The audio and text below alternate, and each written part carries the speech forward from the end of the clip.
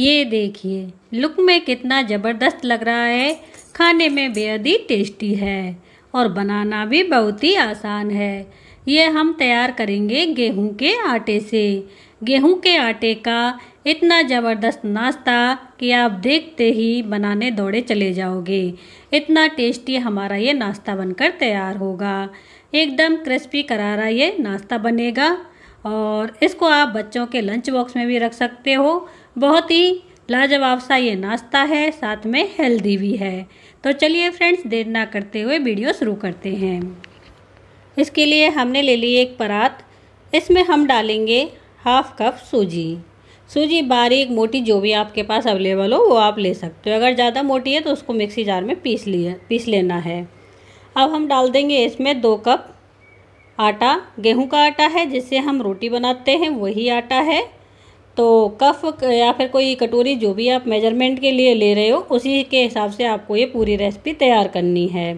स्वाद अनुसार डाल दिया हमने इसमें नमक। अब हम इसमें डाल देंगे मोयन। तो मोयन के लिए मैं यहाँ घी डाल रही हूँ। आप चाहो तो ऑयल भी डाल सकते हो। तो यहाँ मैंने टू टेबल स्पून घी डाल दिया है। घी को अच्छे से मिला लेंगे। ज़्यादा मोयन की ज़रूरत नहीं होती है इसमें।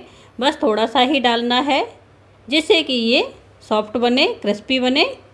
तो ये देखिए, ये मैंने इसको अच्छे से मिला लिया है। अब हम क्या करेंगे? अब हम इसमें थोड़ा थोड़ा करके पानी डालेंगे और इसका हमें पूड़ी का आटा लगाते हैं ना, ऐसा हमें इसका डो तैयार करना है। तो ये देखिए, मैं इसको धीरे धीरे पानी डालती जाऊँगी और इसका हमें एक डो तैयार करना है।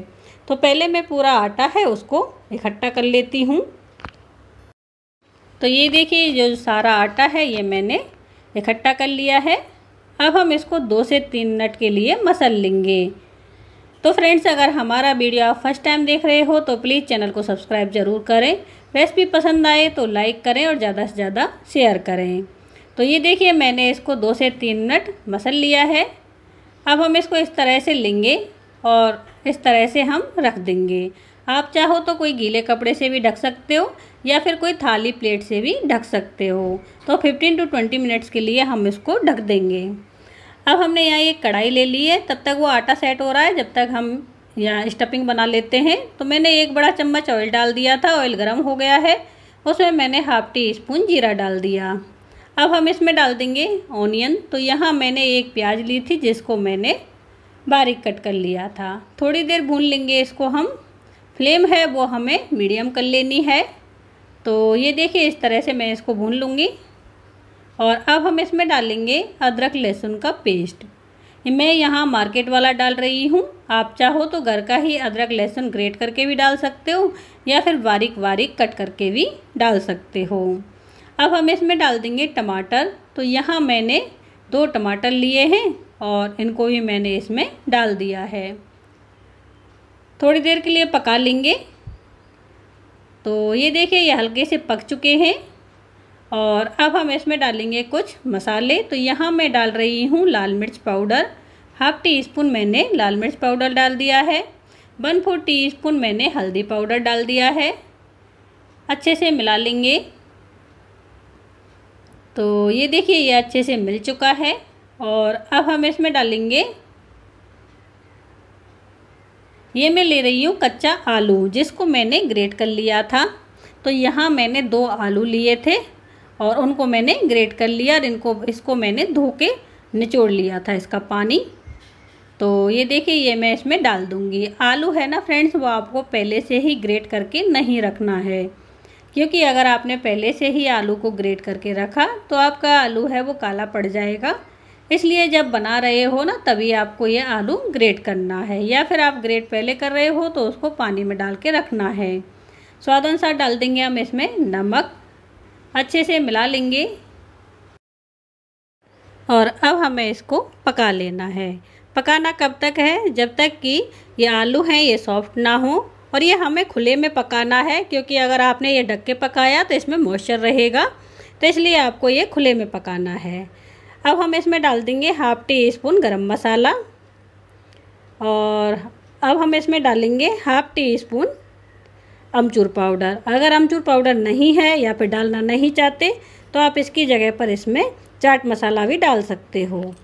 अब बस लास्ट में हमें कुछ सेकंड के लिए इसको हाई फ्लेम पर पका लेना है, जिससे कि इसमें थोड़ा बहुत मॉइस्चर है, वो निकल जाए। अब हम इसकी फ्लेम है वो स्लो कर देंगे और ये मैंने लिया है, जो आलू की भुजिया होती है ना, वो ली है और इसको मैंने मिक्सिंग जार में दरदरा सा पीस लिया है।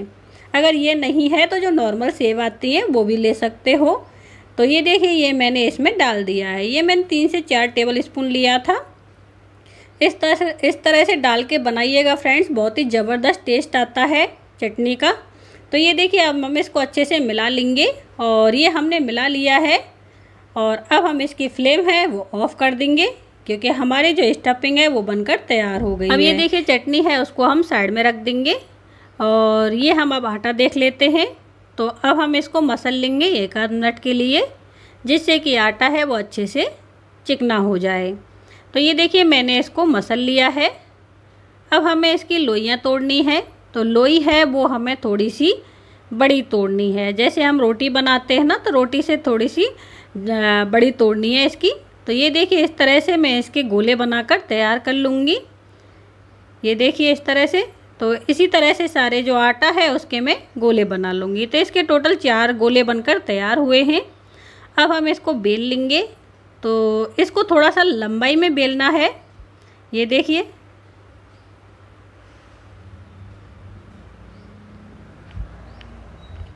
अगर आपको ज़रूरत हो तो आप सूखा आटा भी लगा सकते हो, जैसे चिपक रहा है तो आप सूखे आटे, आटा लगा के फिर इसको बेल सकते हो।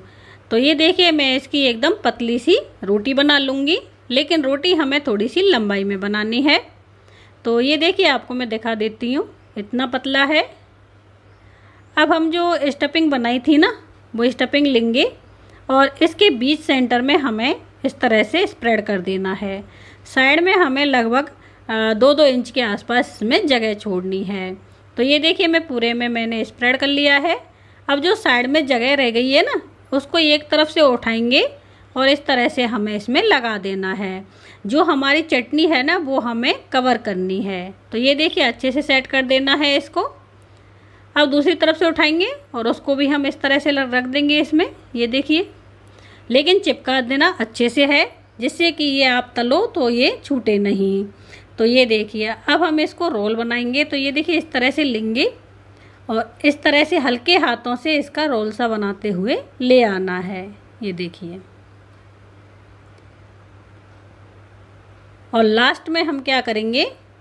इस जगह पर हम लगाएँगे थोड़ा सा पानी, जिससे कि ये जॉइंट है, ये खुले नहीं। तो ये देखिए, इस तरह से मैंने इसके ऊपर लगा लिया है पानी और अब हम इसे इस तरह से चिपका देंगे। और ये देखिए, अब हम क्या करेंगे? अब हम लेंगे एक नाइफ़ और उससे हमें बीच सेंटर में इसमें कट लगाना है। तो ये देखिए, आप देख सकते हो, इस तरह से लेंगे और हल्के हाथों से कट लगाना है। ये पूरा हमें काटना नहीं है लास्ट में हमें जॉइंट छोड़ना है। तो ये देखिए, इस तरह से जब कट कर लेंगे, फिर हमें इस तरह से इसको फैलाना है। ये देखिए, हल्के हाथों से फैलाना है। अगर इधर उधर से कहीं से इसकी सेप ख़राब हो रही हो तो आप हाथों से उसको एडजस्ट कर सकते हो। तो ये देखिए, अब हम इसको हल्के हाथों से दबा देंगे। आप चाहो तो बेलन से बेल भी सकते हो। अब मैं इसके ऊपर थोड़ा सा हरा धनिया लगा दूँगी।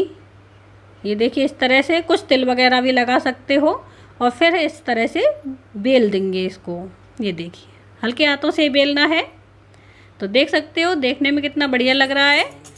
तो ये देखिए, इसी तरह से सारे हैं, उनको मैं बनाकर तैयार कर लूँगी। बहुत ही इजी तरीका है फ्रेंड्स और खाने में बेहद ही टेस्टी भी लगता है। और बच्चों को जब डिफरेंट रेसिपी दिखेगी ना तो थोड़ी देर में ही सारे चट कर जाएँगे। इतनी ज़बरदस्त हमारी ये रेसिपी बनकर तैयार होगी। तो ये देखिए, इस तरह से ही हमें सारे हैं, उनको मैंने बनाकर तैयार कर लिया है। अब यहाँ हमने ऑयल गरम होने रख दिया है। ऑयल गरम हो चुका है। अब हम इसको डालेंगे कैसे? ये देखिए, आप देख सकते हो, जिधर चटनी दिख रही है ना, वो साइड मैंने नीचे डाली है। और जिधर से मतलब जो नीचे का पार्ट था ना, जिधर चटनी नहीं दिख रही है, प्लेन है, वो साइड मैंने ऊपर ली है। ऐसे हमने क्यों डाला? क्योंकि अगर आप इसको सीधी साइड से डालते तो ये जो चटनी है ना, जो इसमें परतों में दिख रही है, ये चटनी निकलने के चांसेस रहते। अगर आप उल्टा डालोगे ना तो आपकी चटनी है, वो कहीं भी नहीं जाएगी, बिल्कुल नहीं निकलेगी। तो ये देखिए, ये हमारे सिक्कर हो गए हैं तैयार। बहुत ही झटपट बन जाता है फ्रेंड्स। लुक में आप देख ही सकते हो, कितना ज़बरदस्त लग रहा है। अब मैं इसको थोड़ा सा डेकोरेट डेकोरेट कर देती हूँ। तो यहाँ मैंने इस पर डाल दिया है रेड चिली फ्लेक्स और अब मैं इस पर डाल दूँगी थोड़े से जो वाइट वाले तिल होते हैं ना, वो तिल डाल दूँगी। ये टोटली ऑप्शनल है। अगर आप चाहो तो डाल सकते हो। नहीं तो आप स्किप भी कर सकते हो। लेकिन इनसे क्या है, इनसे देखने में बहुत ही बढ़िया लगती है रेसिपी तो यहाँ मैंने वाइट तिल भी डाल दिए हैं। कुछ मैंने इसमें कलौजी डाल दी है। ये देखिए इस तरह से। और आप इसके ऊपर सॉस वगैरह भी डाल सकते हो। तो देख सकते हो फ्रेंड्स लुक में कितनी ज़बरदस्त लग रही है। खाने में बेहद ही टेस्टी है। आप इसको ग्रीन चटनी के साथ सॉस के साथ खा सकते हो। और अब आप इसको बच्चों के लंच बॉक्स में भी रख सकते हो।